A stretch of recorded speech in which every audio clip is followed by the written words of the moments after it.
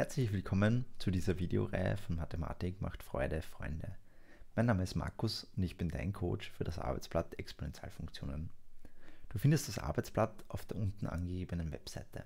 Bitte lade dieses nun herunter und halte es griffbereit. Am besten ist es sicher, wenn du das Arbeitsblatt ausdrucken kannst. Wie der Titel bereits verrät, geht es in dieser Videoreihe um das Thema Exponentialfunktionen. Die Funktionsgleichung einer Exponentialfunktion hat die Form f von x ist gleich c mal a hoch x.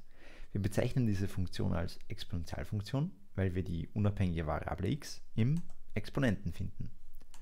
Die Zahlen 3 hoch Pi und 4 hoch Wurzel 2 sind keine alltäglichen Zahlen.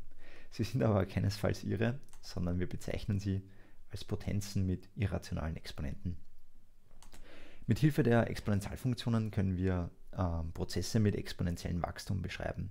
Ein Beispiel hierfür ist die Ausbreitung von Viren, wie es zum Beispiel aktuell beim Coronavirus der Fall ist.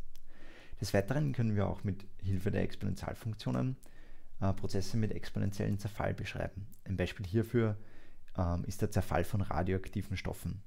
Mit diesen Modellen können wir auch die Halbwertszeit berechnen also jene Zeit, nachdem nur mehr die Hälfte des radioaktiven Stoffes vorhanden ist.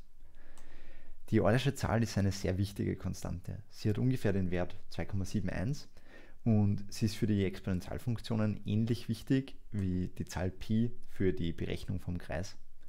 Ich wünsche dir viel Freude bei dieser Videoreihe und wenn du startklar bist, dann können wir gemeinsam loslegen.